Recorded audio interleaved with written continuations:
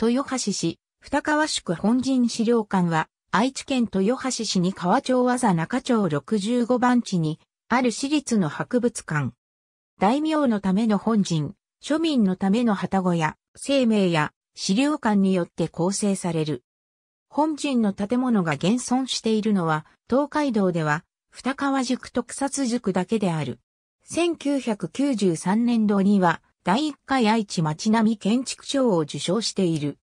また、資料館から250メートルほど離れた位置には、江戸時代の商家、駒屋があり、2015年に一般公開されるようになった。これにより、二川塾は、本陣、旗小屋、商家の三つをまとめて見学できる日本で唯一の宿場町となった。商家、駒屋もここで扱う。本陣文化4年から明治までの約60年間、武田氏の家臣、馬場信春の子孫とされる馬場彦十郎が二川塾の本陣職を務めた。宿役制度の廃止後、昭和60年まで馬場家の住居として存続した。その後、土地、建物が豊橋市に寄付され、本陣として最も整備されていた江戸時代末期の景観に再生された。昭和62年11月、豊橋市の史跡に指定。二川宿本陣資料館、外観本陣の復元に伴って整備された。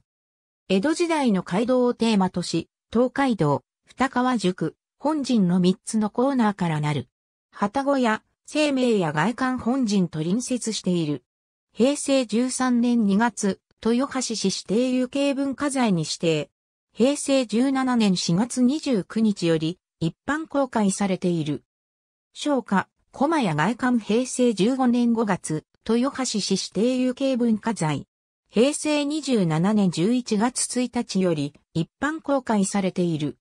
母屋、土蔵など8棟の建物からなり、二川塾で商家を営む傍ら、問屋役や名主などを務めた田村家の意向である。